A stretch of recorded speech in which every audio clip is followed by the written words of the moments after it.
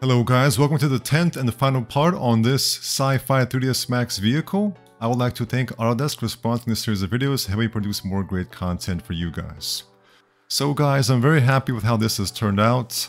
I really like how the model has advanced and progressed here, and I pretty much think that once we figure out the wheel situation, add some details, it's going to be pretty much in a good state. So one thing to understand guys is that I primarily work as a content designer, which means that I make things that look a certain way visually. I present it to the director or the art director, they approve it, and somebody else will take this and you know work out all the joints.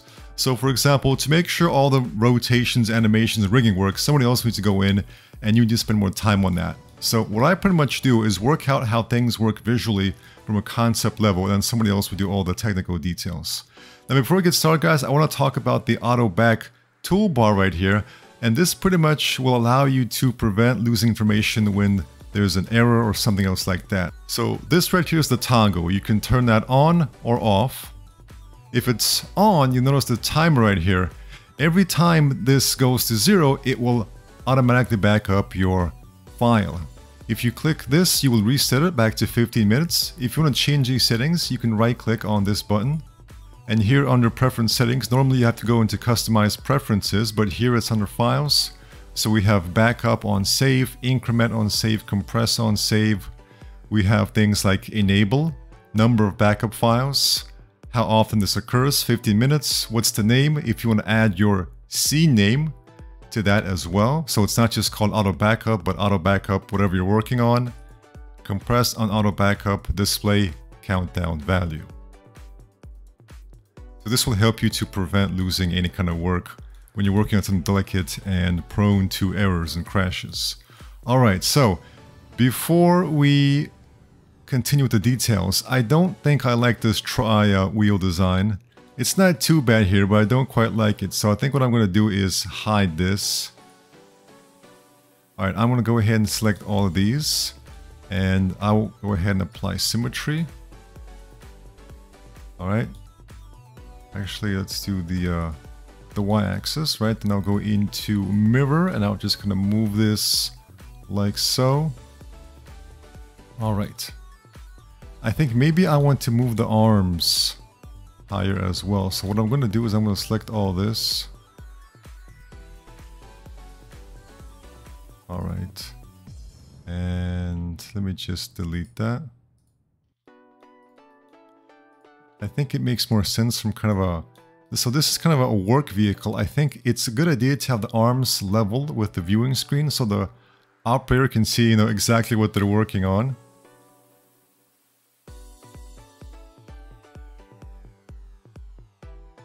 And that means we can move the wheels further up here. Yeah, there we go. I think something more like that. We can also apply X symmetry and go into mirror and Shift Air Alt A to move that right there.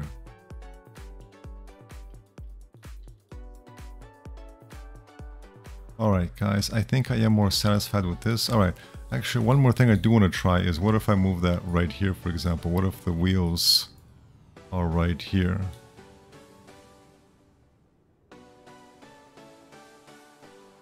So I'm also thinking about balance because, you know, if the wheels were you know, right here, it would pretty much topple over backwards. But with the wheels being more back here, we've got the tail providing weight in the back and then this weight in the front. So I'll need to go back in here and Alt-A that again. All right. I'm thinking, okay, what if we have this kind of speedy design? All right, guys, I'm I'm digging how that looks.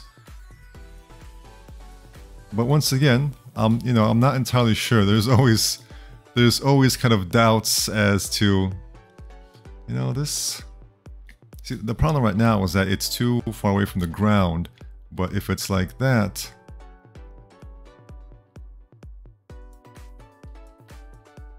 then that will make it more even with the ground.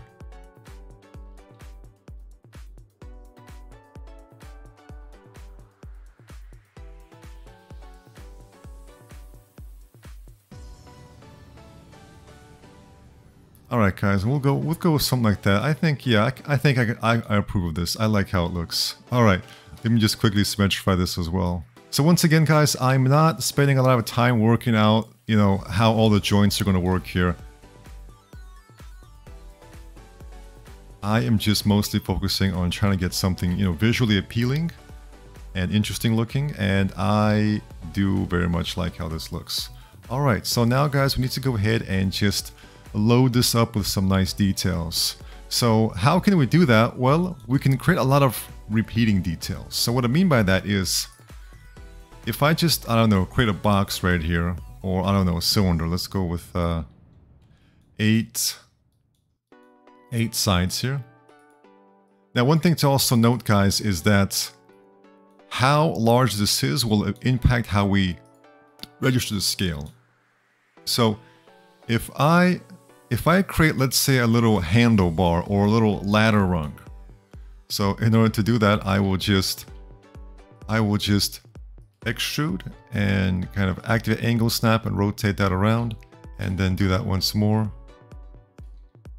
making things simple like so. All right, this could be a handle, for example. And with these vertices selected, see if I just apply symmetry right now, and I use, let's say, the x-axis, and I flip that, it's this is happening. But if I have something selected here and then apply symmetry, it's going to apply it at that point. So now it's going to be right here.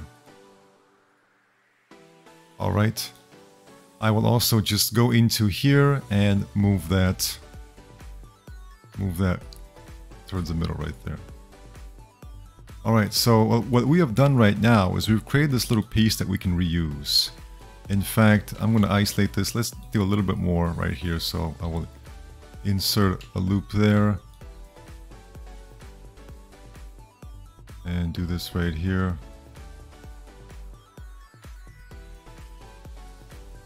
And I'm just going to select the symmetry modifier. I'm going to copy that and I'm going to paste that right back on there.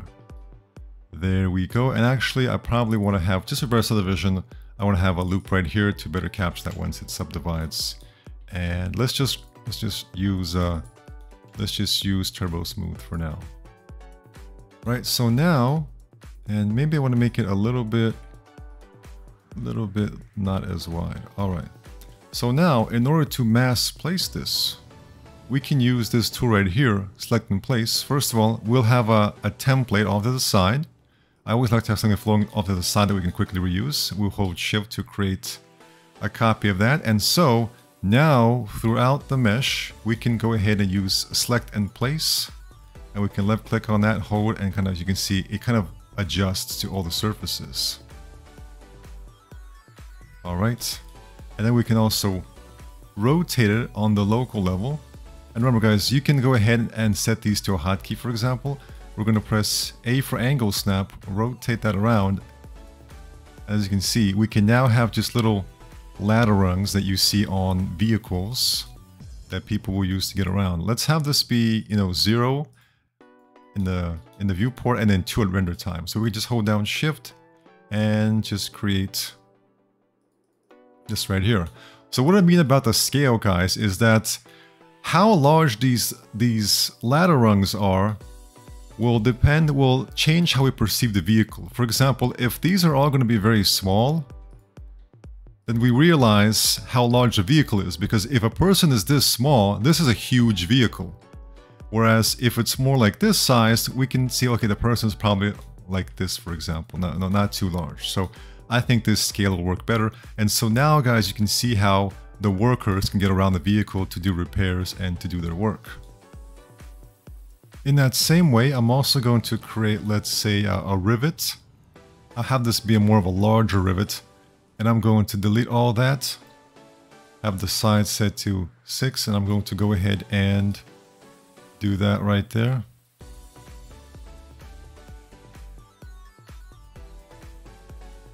I'll select these edges and I'll do a small chamfer on this.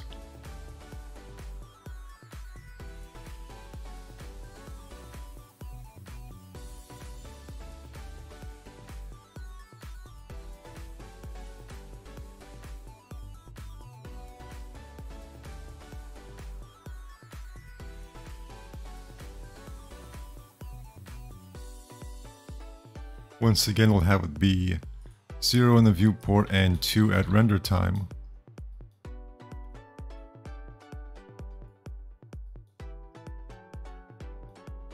Alright, I am going to center the pivots and then I will move it a little bit lower actually.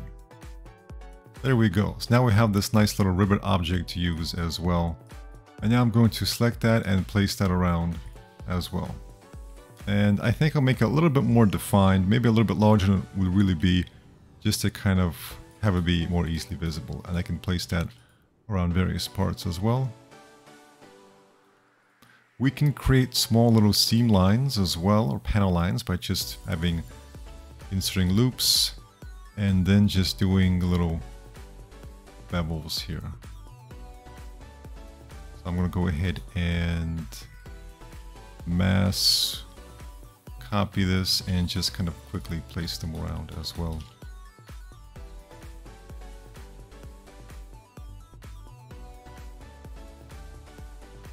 We can also add some cool details by uh, going in here, for example, I'm going to select all of this, select like a few edges here. All right, and I'm going to ring. I'm going to hold also this one right here. I'm going to ring. I'm going to hold control and click here to convert to polygon and then on new add a poly modifier. I am going to just inset that. And now I'm going to, or bevel that inwards. And now I'm going to detach that as a clone. I'll select that new object, give it a gray material, and we apply shell on that. And that creates this nice inner detail here as well. We can also just do things such as extrude and I'll select this edge and then I will use edge constraints.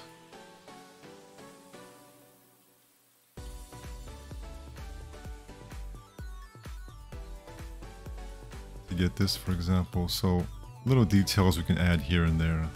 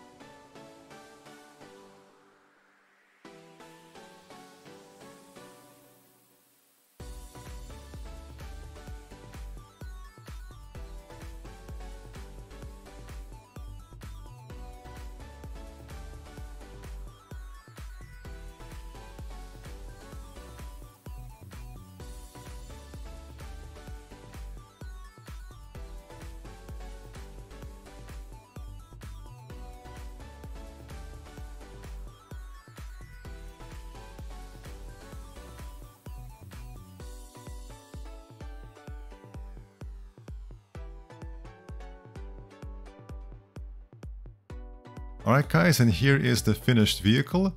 And of course, we can always spend more time adding details here and there, but I'm very satisfied with how we were able to create kind of a nice silhouette, a nice shape, and kind of a nice, sleek, aggressive, oh, but also industrial design as well. So thank you for watching and take care.